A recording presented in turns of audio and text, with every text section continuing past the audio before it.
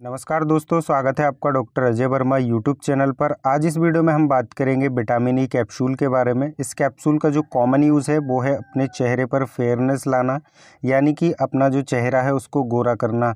कुछ लोग इसको बाहर से अपने चेहरे पर अप्लाई करते हैं और सोचते हैं कि हमारा चेहरा गोरा हो जाएगा, और कुछ लोग इसको बालों में इस्तेमाल करते हैं, जिससे कि वो सोचते हैं कि हमारे बाल झड़ना बंद हो जाएँगे, या फिर नए बाल उगना शुरू हो जाएँगे।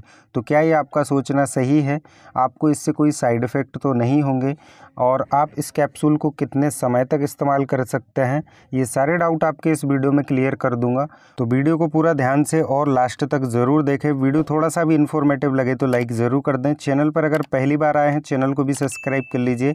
यहाँ पर आपको इसी तरीके के इन्फॉर्मेटिव और मेडिसिन से संबंधित वीडियोज़ डेली अपडेट के साथ मिलते रहेंगे। चलिए वीडियो स्टार्ट करते हैं। यहाँ पर हम बात करेंगे ईवियन 400 यानी कि विटामिन ई कैप्सूल के बेनिफिट्स क्या क्या होते हैं।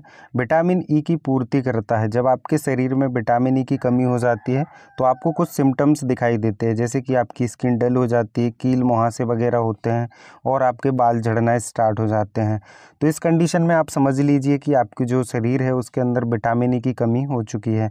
तब आप विटामिन ई का यूज़ करिए, आपकी ये दोनों प्रॉब्लम्स सही हो जाएँगी। यहाँ पर आपके जो बाल हैं, वो मज़बूत हो जाएँगे। जैसा कि अभी हमने बात की कि अगर विटामिन ई की कमी होती है तो आपके जो बाल हैं, वो झड़ना स्टार्ट हो जाते हैं। जब इसकी पूर्ति हो जाएगी तो डेफिनेटली आपके बाल मज़बूत होंगे। कील मुहासे कम करता है, स्किन पर निखार आ जाता है। जैसा कि अभी हमने बताया कि विटामिन ई की कमी से ही आपकी स्किन ख़राब होती है, बाल आपके झड़ना स्टार्ट होते हैं। तो जब विटामिन ई की पूर्ति होगी तो डेफिनेटली आपकी स्किन पर निखार आएगा। कोशिकाओं को मज़बूत करता है। जब हम जिम जाते हैं तो कम समय में ही थक जाते हैं। तो उस कंडीशन में हमारी जो कोशिकाएँ हैं वो कमज़ोर होती हैं। तो आप विटामिन ई की पूर्ति होगी आपके शरीर में, आपकी जो कोशिकाएँ हैं वो मज़बूत होंगी तो आप काफ़ी समय तक जिम कर पाएँगे। ये बेनिफिट्स थे जो कि विटामिन ई कैप्सूल से हमें मिलते हैं। यहाँ पर हम बात करेंगे विटामिन ई कैप्सूल यानी कि ईवीओन 400 की डोजेज़ की, जो कि सबसे ज़्यादा इम्पोर्टेंट है। यहाँ पर प्रतिदिन आप एक कैप्सूल का इस्तेमाल कर सकते हैं, दोपहर में या फिर रात को सोते समय। वो भी आपको खाना खाने के बाद ही इस टैबलेट यानी कि कैप्सूल का इस्तेमाल करना है। या फिर आप अपने डॉक्टर की सलाह अनुसार ही इस कैप्सूल का इस्तेमाल करें तो काफ़ी अच्छा रहेगा। कुछ लोग इसे बालों में और चेहरे पर ऊपर से लगाते हैं। ये करना बिल्कुल गलत है क्योंकि आपके शरीर के अंदर विटामिन ई की कमी है, तभी आपकी स्किन पर ग्लो नहीं आ रहा है, स्किन डल है, कील मुहासे हैं और आपके बाल झड़ रहे हैं। जब तक आप इसको अंदर से ठीक नहीं करेंगे, तब तक आपकी जो ये प्रॉब्लम्स हैं वो ठीक नहीं होंगी। इसलिए आपको इसे बाहर से नहीं लगाना चाहिए। आप इसको डेली, जैसा मैं आपको बता रहा हूँ डेली एक कैप्सूल आप खाइए। खाना खाने के बाद डेफिनेटली आपके विटामिन ई की पूर्ति होगी तो आपकी जो स्किन है वो ऑटोमेटिक ग्लो करना स्टार्ट हो जाएगी और आपके बाल वगैरह झड़ना भी बंद हो जाएँगे। यहाँ पर हम बात करें एवियन 400 यानी कि विटामिन ई से आपको क्या साइड इफ़ेक्ट हो सकते हैं। तो यहाँ पर जो कुछ साइड इफ़ेक्ट हैं कॉमन साइड इफ़ेक्ट हैं, आप जब इस टैबलेट का ओवरडोज करते हैं या फिर लंबे समय तक इस्तेमाल करते हैं तब ये साइड इफ़ेक्ट देखने के लिए मिलता है। जैसे कि आप जी मचलाना, दस्त आना या फिर आपको आलस भी आ सकता है, धुंधला दिखाई देना।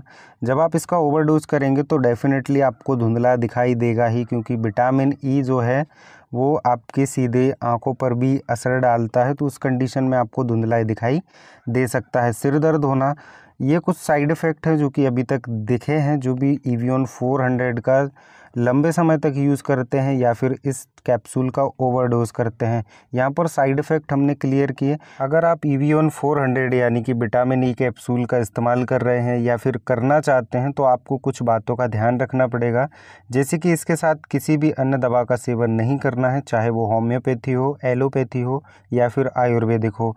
आपको कोई भी दवा इस कैप्सूल के साथ नहीं लेना है। अगर आपके शरीर में खून की कमी है, तब भी आप इस कैप्सूल का इस्तेमाल नहीं कर सकते। सबसे पहले आप अपने डॉक्टर से कंसल्ट कीजिए, वही आपको सही तरीका बताएँगे। धूम्रपान या फिर शराब का सेवन ना करें, ये आपके लिए काफ़ी ज़्यादा खतरनाक हो सकता है और काफ़ी गंभीर साइड इफ़ेक्ट आपको देखने के लिए मिल सकते हैं। आपको इन बातों का हमेशा ध्यान रखना है और एक बात और, आप इस कैप्सूल को पंद्रह दिन तक यूज़ करके देखिए, अगर आपको बेनिफिट होता है तभी आप इस कैप्सूल का कंटिन्यू एक महीने तक इस्तेमाल करें। अन्यथा आप इस कैप्सूल को बंद कर दें, अगर आपको कोई साइड इफ़ेक्ट होते हैं या फिर कोई बेनिफिट नहीं होता तो आप इस कैप्सूल को लेना बंद कर दें। आज की वीडियो में बस इतना ही। वीडियो इन्फॉर्मेटिव लगा हो तो लाइक ज़रूर कर देना। चैनल पर अगर पहली बार आए हैं चैनल को भी सब्सक्राइब कर लीजिए। इस कैप्सूल से संबंधित जो भी जानकारी थी, वो यहाँ पर हमने क्लियर की, यानी कि आपके जो भी डाउट्स थे, वो यहाँ पर क्लियर हो गए होंगे इस वीडियो को देखने के बाद।